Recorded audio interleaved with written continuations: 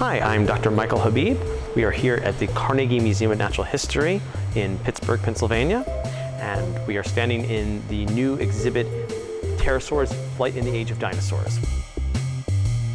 So pterosaurs are famous for having included the largest flying animals in Earth's history.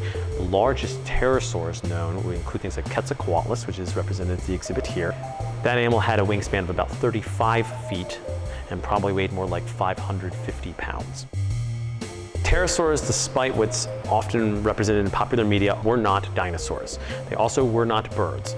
Birds are dinosaurs, pterosaurs were related to dinosaurs. You could refer to them accurately and relatively formally as flying reptiles. Fossils have been found on every continent, including Antarctica.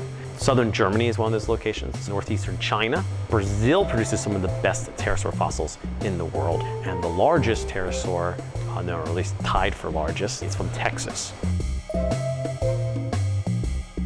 I hope that visitors to this exhibit get a real feel for the diversity of pterosaurs, that they realize that they actually came in a lot of different sizes and shapes. I do also hope that they really enjoy the flight interactives. They get to fly like a pterosaur and uh, do a motion capture simulator. It's a very unique setup. Uh, we put a lot of special details into that just for this exhibit uh, related to pterosaurs, so I, I hope they enjoy that.